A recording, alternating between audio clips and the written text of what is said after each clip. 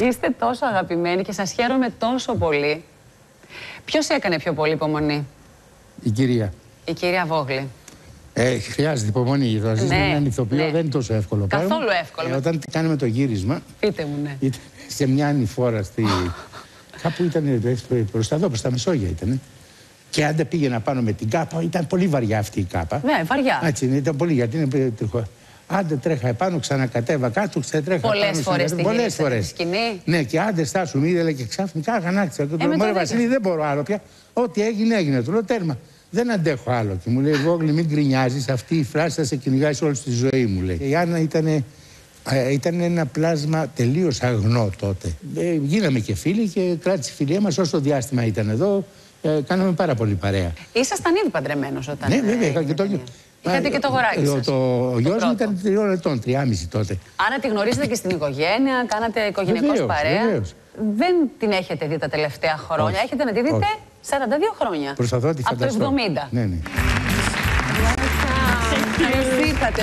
Ευχαριστώ πάρα πολύ. Ακόμη με πολύ μεγάλη ε, αιμονή και με πολύ μεγάλο ενδιαφέρον παρακολουθούν οι τηλεθεατές στην τηλεόραση πια την προβολή της ταινίας αυτής, το κορίτσια στον ήλιο. Πώς νιώθετε ωστόσο που επιστρέψατε στη χώρα που σας έφερε γούρι θεωρώ στη ζωή σας.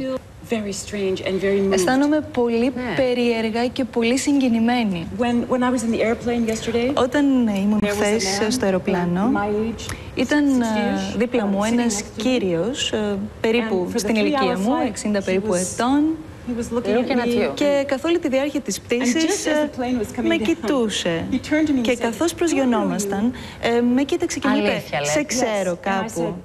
said, no. And he Και said, του I λέω know, I know «Όχι». you. And then I Και said, μου λέει in «Νομίζω Greek, I ότι said, κάπου σε ξέρω, είμαι σίγουρος». Ήμουν ηθοποιός, έκανα ένα φιλμ, ε, κορίτσι στον ήλιο. Είμαι dit, Annabella. Δεν το πιστεύω. Don't- don't Αυτό let τα him λέει stay όλα in the κυρίες και airplane. κύριοι. I'll never forget him.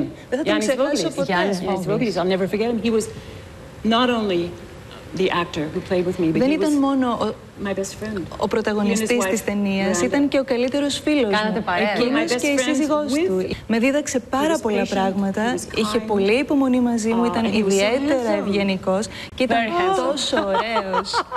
τόσο ωραίος. Um, wonderful man. I'll never Ένας forget him. υπέροχος Τον άνθρωπος. ερωτηθήκατε λιγουλάκι σε όλε αυτέ τι σκηνέ του πάστο. Εμείς πάντα αναρωτιόμασταν. Άρα για αυτοί οι άνθρωποι τόσο ωραίοι και οι δύο, τόσο Not παθιασμένοι. just a bit. Όχι I mean, a big λίγο. bit. Really. Αρκετά, πολύ. Τον ερωτευτήκατε So you λοιπόν. fell in love with him. Oh, yeah. Θυμόσαστε τη φράση που Do σας you είπε στην recall ταινία; the phrase he said? Τη χαρακτηριστική In the movie, φράση. that typical,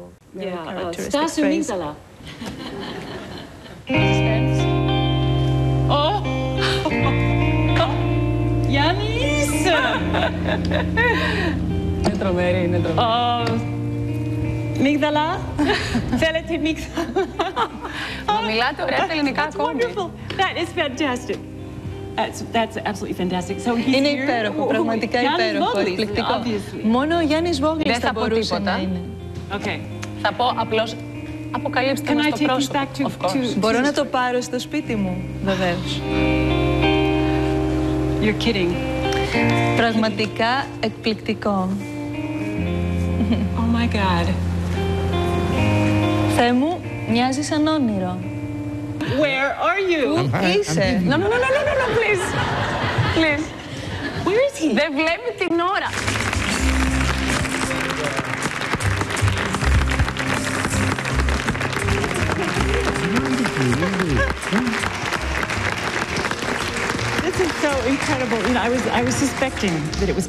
Sure. υποπτευόμουν, υποπτευόμουν ότι ήσουν εσύ. Kalimera, Καλημέρα. Kalispera, Καλησπέρα. Kalinikta. Καληνύχτα. Διάλογος από τα κορίτσια στον ήλιο.